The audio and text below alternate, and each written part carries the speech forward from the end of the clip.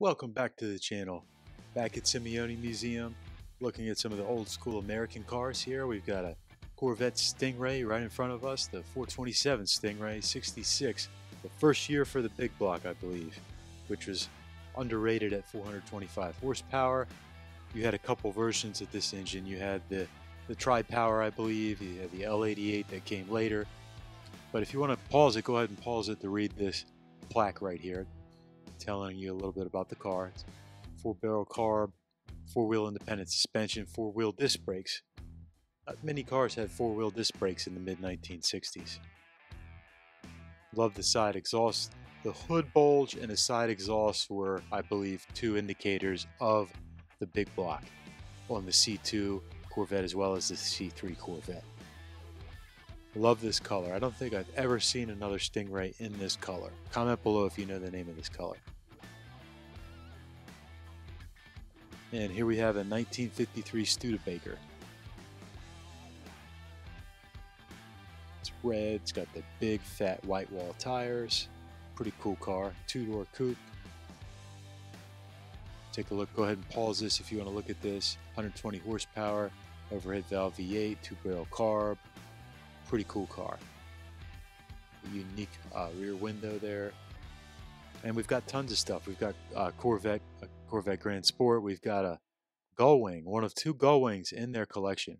A Superbird in vitamin C orange. Pretty wild car. And I guess, unfortunately, a couple of these got hit hard in Naples, Florida by the hurricane damage.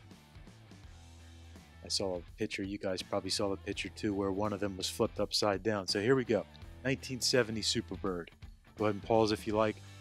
Uh, 440, 440 V8, 375 horsepower. Richard Petty won a bunch of races with this car in race trim at NASCAR. And that wing was really big for, for its day. It's still a huge wing. It's a big car. I like the black roof with it. Got the pistol grip. I think that's called the pistol grip shifter there. 15 inch wheels.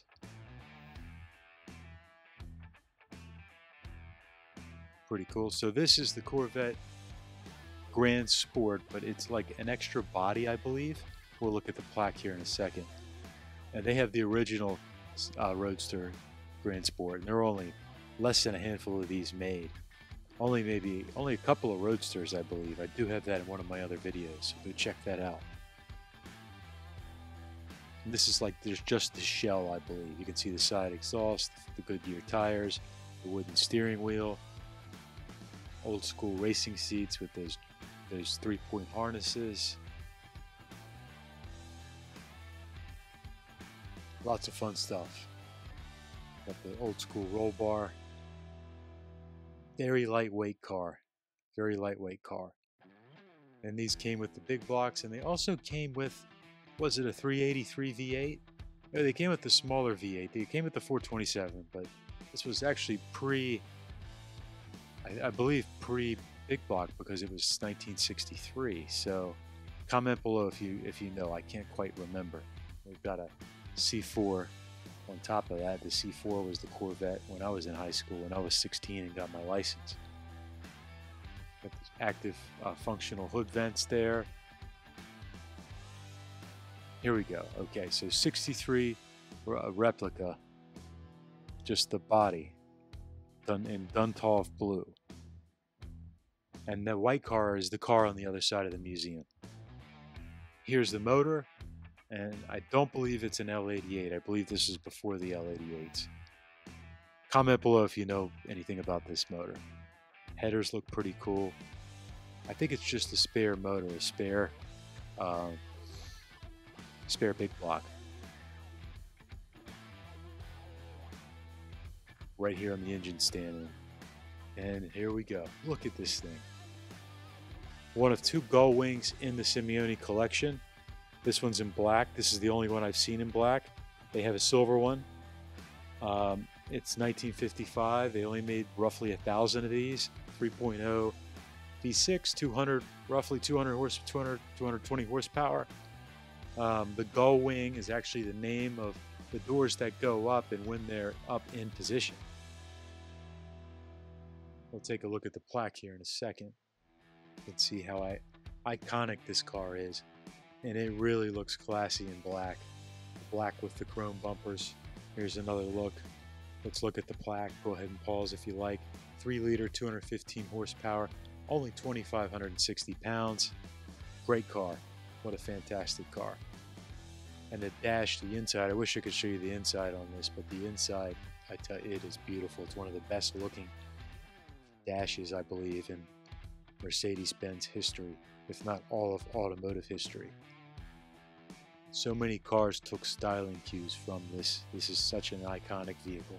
It's one of my favorite classic cars. I can't believe that it's roughly 70 years old, 68, 69 years old. And right here we've got a Jag, a Jag, a 50, 1953 Jaguar. We'll take a look at this. It's a fixed head coupe. I love the red interior, the black with the red interior, a little over 3,000 pounds. Inline 6, 160 horse. Cast iron block. Carb, of course, 4-speed manual. Probably a lot of fun to drive. Looks wonderful with the black and the red interior.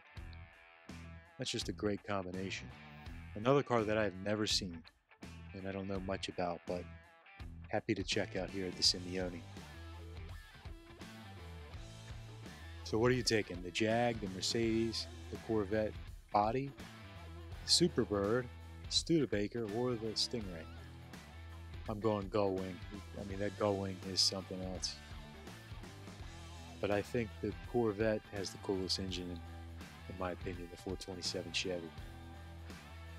That's the engine I would take.